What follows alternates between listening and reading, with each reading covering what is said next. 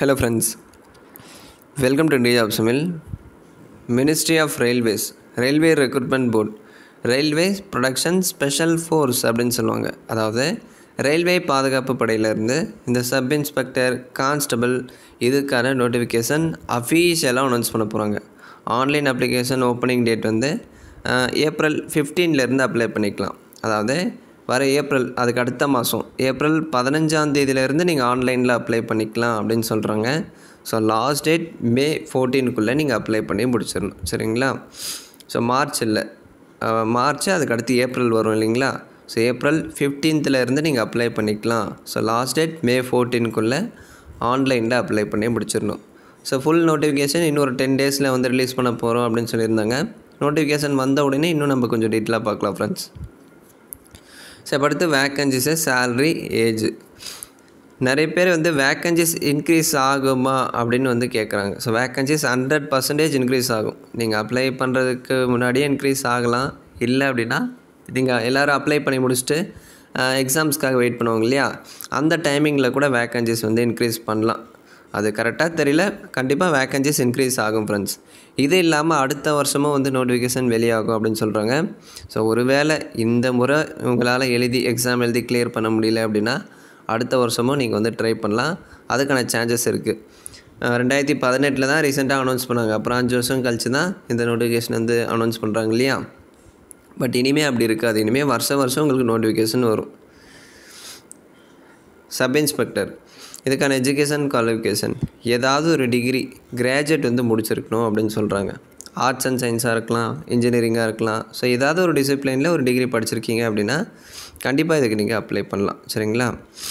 இதுக்கு சேல்ரி பாருங்க thirty five thousand இருக்கும் பேசிக்கே வந்து தேர்ட்டி ஃபைவ் அது போக ரயில்வே அலவன்ஸ் எல்லாமே இருக்கும். அதுவே பார்த்திங்கன்னா ஒரு ஃபிஃப்டீன் தௌசண்ட் கிட்ட அலவன்ஸ் எல்லாமே இருக்கும். இது வந்து பேசிக் சேல்ரி தான். ரயில்வே அலவன்ஸ்லாம் என்னென்ன அலவன்ஸ்லாம் கவர் ஆகும் அப்படின்னு சொல்லிட்டு அடுத்த வீடியோவில் நான் உங்களுக்கு டீட்டெயிலாக சொல்கிறேன் ஃப்ரெண்ட்ஸ் ஏஜ் பாருங்கள் சப் இன்ஸ்பெக்டருக்கு அப்ளை பண்ணுறீங்க அப்படின்னா இருபதுலேருந்து இருபத்தெட்டு வயசுக்குள்ளே இருந்தால் நீங்கள் அப்ளை பண்ணலாம். இதில் ஒரு நானூற்றி ஐம்பத்தி ரெண்டு வேக்கன்சிஸ் கொடுத்துருக்காங்க. இப்போதைக்கு கொடுத்துருக்காங்க இது ஃப்யூச்சரில் கண்டிப்பாக இன்க்ரீஸ் ஆகும். அடுத்து கான்ஸ்டபிள் இதுக்கு டென்த்து பாஸு டென்த்து பாஸ் பண்ணியிருந்தால் போதும் நீங்கள் அப்ளை பண்ணலாம்.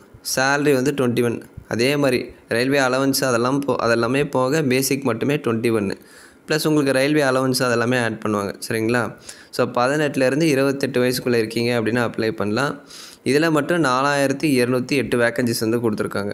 ஸோ ஒட்டுமொத்தமாக நாலாயிரத்தி அறநூற்றி அறுபது வேக்கன்சிஸ் வந்து வேக்கன்சிஸ்க்கு நோட்டிஃபிகேஷன் ரிலீஸ் பண்ண போகிறாங்க ஒரு வேளை உங்களுக்கு இந்த இருபத்தெட்டு வயசுக்கு மேலே ஏஜ் பார் ஆகிடுச்சு அப்படின்னா எஸ்சி எஸ்டிக்கு ஃபைவ் இயர்ஸ் இருக்கும். அதே மாதிரி ஓபிசிக்கு த்ரீ இயர்ஸ் ஏஜ் ரிலாக்ஸேஷன் இருக்கும். ஸோ ஏஜ் பார் ஆனால் ரிலாக்ஸேஷன் வந்து யூஸ் பண்ணி நீங்கள் அப்ளை பண்ணிக்கலாம் ஃப்ரெண்ட்ஸ் அதே மாதிரி டிகிரி கம்ப்ளீட் பண்ணிவிட்டு எக்ஸாம் ரிசல்ட்டுக்காக வெயிட் பண்ணுவாங்க இல்லையா? அவங்கெல்லாம் இதுக்கு எலிஜிபிள் இல்லை. ஸோ நீங்கள் டென்த்து பாஸ் பண்ணி சர்டிஃபிகேட் இருக்கணும். அதே மாதிரி டிகிரி டிகிரி முடித்து டிகிரிக்கான சர்டிஃபிகேட் கன்சால்டேட் சர்டிஃபிகேட்டு அந்த டிகிரி சர்டிஃபிகேட் இருந்தால் மட்டும்தான் நீங்கள் அப்ளை பண்ண முடியும். சில பேர் இன்ஜினியரிங் டிகிரி படித்து அதாவது எக்ஸாம் எழுதிட்டு இருப்பாங்க ரிசல்ட்டுக்காக வெயிட் பண்ணுவாங்க. அவங்கெல்லாம் வந்து இதுக்கு அப்ளை பண்ண முடியாது. எப்படின்னா கம்மிங் ஏப்ரலில் எக்ஸாம்ஸ் வந்து கண்டக்ட் பண்ணுவாங்க. ஸோ எக்ஸாம் எழுதிட்டு ரிசல்ட்டுக்காக வெயிட் பண்ணுவாங்க இல்லையா? செம் எக்ஸாம் எழுதிட்டு ரிசல்ட்டுக்காக வெயிட் பண்ணுறவங்களாம் இருந்தீங்க அப்படின்னா நீங்கள் இதுக்கு எலிஜிபிள் இல்லை. ஸோ கம்ப்ளீட்டாக டிகிரி முடித்து சர்டிஃபிகேட் இருந்தால் அப்ளை பண்ணுங்கள் ஃப்ரெண்ட்ஸ் அடுத்து செலெக்ஷன் ப்ராசஸ் எப்படி ப்ரோ இருக்கும்? முக்கியமாக பாருங்கள் மொத்தம் நாலாயிரத்தி அறநூற்றி அறுபது வேக்கன்சி கொடுத்துருக்காங்க இல்லையா?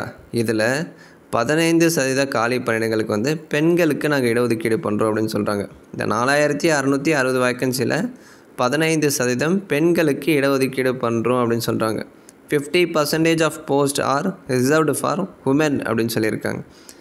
அதே மாதிரி செலெக்ஷன் ப்ராசஸில் பாருங்கள் முதல்ல சிபிடி இருக்கும். கம்ப்யூட்டர் பேஸ்டு எக்ஸாமினேஷன் இருக்கும். ஸோ எக்ஸாம் வந்து தமிழில் இருக்கும்.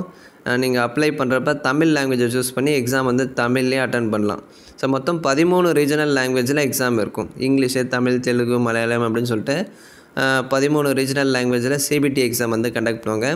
நீங்கள் தமிழ் லாங்குவேஜை சூஸ் பண்ணி தமிழ்லேயே வந்து எக்ஸாம் அட்டன் பண்ணலாம். எக்ஸாம் சென்டர் வந்து சென்னையில் இருக்கும் ஃப்ரெண்ட்ஸ் ஸோ முதல்ல கம்ப்யூட்டர் பேஸ்டு எக்ஸாமினேஷன் இருக்கும். சிஸ்டமில் எக்ஸாம் அட்டன் பண்ணுற மாதிரி இருக்கும். நெகட்டிவ் மார்க்கிங்கு அது எல்லாமே இருக்கும் சிலபஸ் பார்த்திங்கன்னா டென்த்து லெவலில் இருக்கும். இந்த ரீசனிங்கு ஜென்ரல் அவேர்னஸ்ஸு அதை பற்றி நான் டீட்டெயிலாக அடுத்த வீடியோவில் நான் உங்களுக்கு கிளியராக சொல்கிறேன் ஃப்ரெண்ட்ஸ் அதாவது ஃபுல் நோட்டிஃபிகேஷன் வரும் இல்லைங்களா?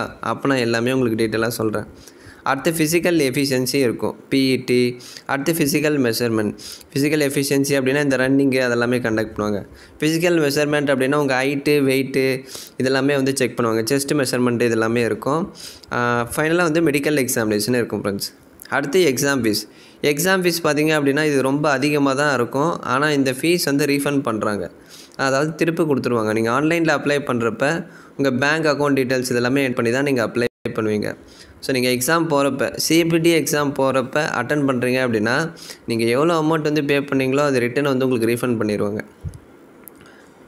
இவ்வாறு ஓபிசி கேட்டகரியாக இருக்கீங்க அப்படின்னா ஃபைவ் ஹண்ட்ரட் எக்ஸாம் ஃபீஸ் வந்து நீங்கள் பே பண்ணுவீங்க. அதில் ஃபோர் ஹண்ட்ரட் ருபீஸ் பார்த்தீங்க அப்படின்னா சிபிடி எக்ஸாம் அட்டன் பண்ணுறப்போ உங்களுக்கு ரீஃபண்ட் பண்ணிடுவாங்க இதுவே நீங்கள் எஸ்சி எஸ்டி எக்ஸ் சர்வீஸ்மேன் ஃபீமேல்ஸாக இருக்கீங்க அப்படின்னா டூ ஃபிஃப்டி அமௌண்ட் வந்து நீங்கள் பே பண்ணுவீங்க. சிபிடி எக்ஸாம் அட்டன் பண்ணுறப்ப அந்த டூ ஃபிஃப்டி அமௌண்ட்டும் உங்களுக்கு ரீஃபண்ட் பண்ணிடுவாங்க சரிங்களா? இந்த ரீஃபண்ட் அமௌண்ட் யாருக்கு பொருந்தும் அப்படின்னா சிபிடி எக்ஸாம் அட்டன் பண்ணுறவங்க மட்டும்தான். அதாவது யாரெல்லாம் சிபிடி எக்ஸாமுக்கு அட்டன் பண்ணுறாங்களோ அவங்களுக்கு மட்டும்தான் இந்த எக்ஸாம் ஃபீஸ் அவங்க பே பண்ண எக்ஸாம் ஃபீஸ் வந்து ரீஃபண்ட் பண்ணுவாங்க. நீங்கள் எக்ஸாம் ஃபீஸ் பே பண்ணிவிட்டு சிபிடி அட்டன் பண்ணல அப்படின்னா கண்டிப்பாக ரீஃபண்ட் பண்ண மாட்டாங்க. இப்போ நீங்கள் ஆன்லைனில் அப்ளை பண்ணிவிட்டு எக்ஸாம் ஃபீஸ் வந்து பே பண்ணுறீங்க இல்லையா?